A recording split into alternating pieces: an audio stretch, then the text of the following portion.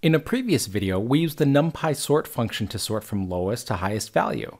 In this video, we'll address sorting based on a custom defined value.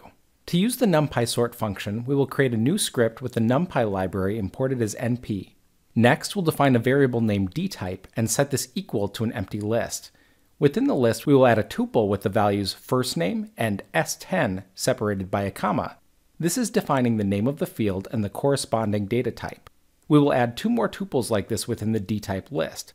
The second tuple will have the values last name and s12, and the third tuple will have the values age and int. Now that the data types for our array are set up, we will create the values to go within the array. We will create a list called values, and within it we will place three tuples. The first tuple will have the values John, Smith, and 57. The second tuple will have the values Sarah, Smith, and 33, and lastly, the third tuple will have the values Allison, Anderson, and 64. Let's create an array A and set this equal to np.array. Within the array function, we will add the list values as the first argument, and then the keyword dtype will be assigned to our dtype list as the second argument. This creates a structured array with the values and data types defined above. Now we can use the sort function and add a custom ordering based on our defined values. We will call np.sort and pass in the numpy array A as the first argument. Following this, we will add the keyword order and assign the value first name within quotes.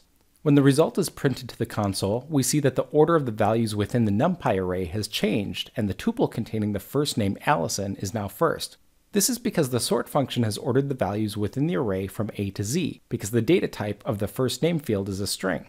The numpy array can also be sorted using the age by assigning the value age to the order keyword within the sort function. Now when the script is run, the youngest person, in this case Sarah, is now listed first in the resulting array. If we wanted to sort based on multiple conditions, we can add a list after the order keyword and add the values last name and first name within it. This will sort the list first by last name and then by first name. The resulting array is sorted from A to Z on the last name field and then from A to Z based on the first name field. As we can see, John is listed before Sarah even though they have the same last name. For more Python tutorials, like, share, and subscribe to the PyPros channel.